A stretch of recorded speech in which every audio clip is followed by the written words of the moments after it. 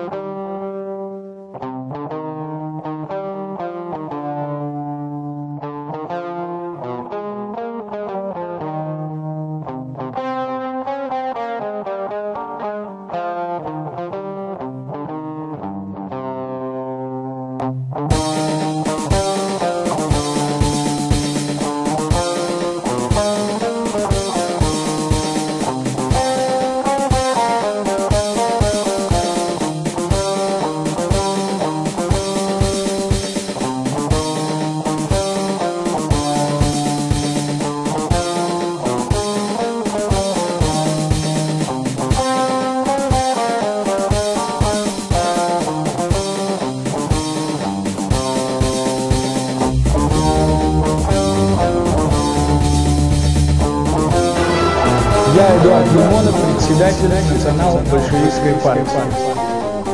Центральный комитет Национал большевистской партии принял решение о бойкоте президентских выборов 2004 года.